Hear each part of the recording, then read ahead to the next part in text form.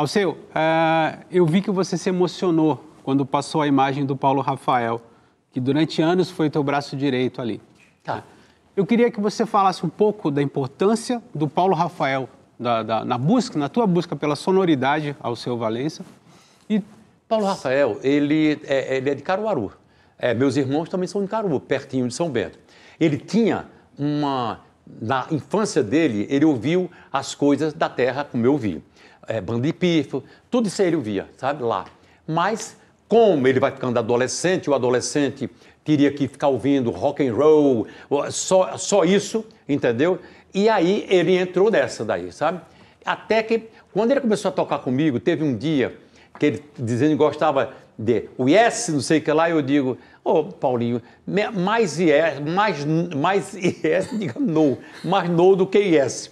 E mais Caruaru do que Londres, brincando. Tá, então eu digo, ô Paulinho, é, volte ao seu tempo de criança, volte para Caruaru, que agora eu vou te chamar de Paulo Caruaru e daí em diante é, você ouça as coisas da nossa cultura para você colocar nessa guitarra. E dessa maneira ele começou a pegar um estilo totalmente diferente de todo mundo, entendeu? Que ele usava guitarra genialmente, maravilhosamente, mas, digamos, a timbragem que é de, uma, de uma guitarra que parece uma coisa é, totalmente...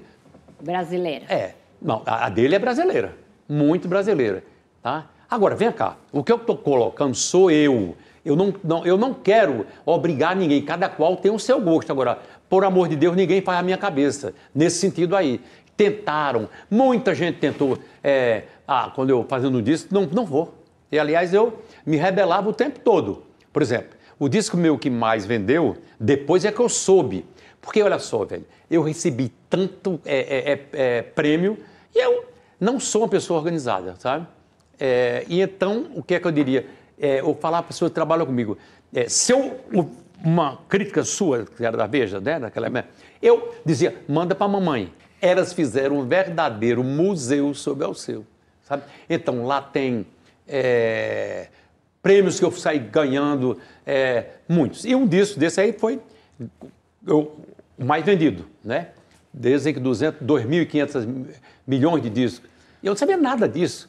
Aí o que acontece, rapaz, é que foi o disco Cavalo de Pau. E esse disco era comum, usual, você fazer 12 músicas. Eu fiz oito.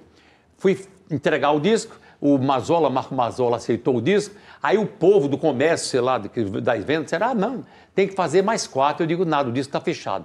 Tudo eu faço como se fora um filme.